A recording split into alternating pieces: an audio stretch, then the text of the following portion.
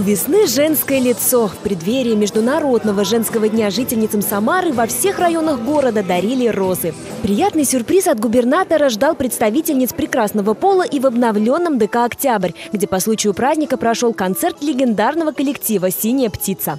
Очень приятно получить такие мелкие даже подарочки, настроение прекрасное. Это практически второй Новый год, три дня праздников, чудесно.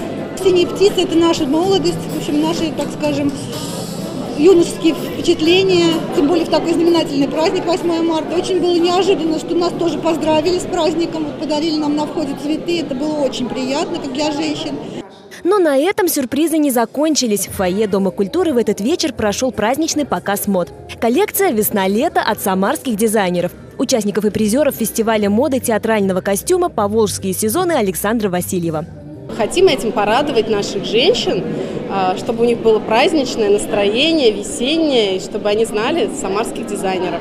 Наш показ начнется с одной стороны как бы, визуализации женщин, таких женщин-богатырш, женщин-хранительниц, которые охраняют свою семью, свой дом, а закончится а, цветочными весенними нарядами, которые воплощают женщину романтичную.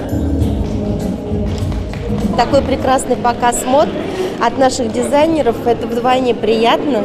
Девочки молодцы. А еще и цветочек подарили, конечно же, да. В преддверии 8 марта это было очень приятно. Гульфия Сафина, Григорий Плешаков. События.